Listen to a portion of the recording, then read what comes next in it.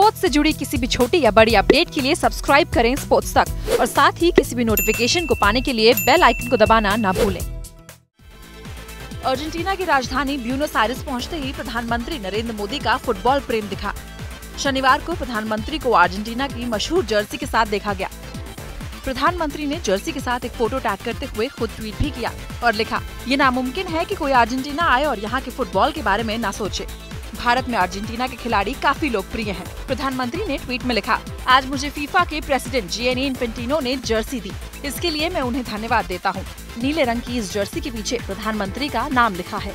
नरेंद्र मोदी ने जर्सी की फ़ोटो अपने ट्विटर अकाउंट आरोप शेयर की। Bureau report, sports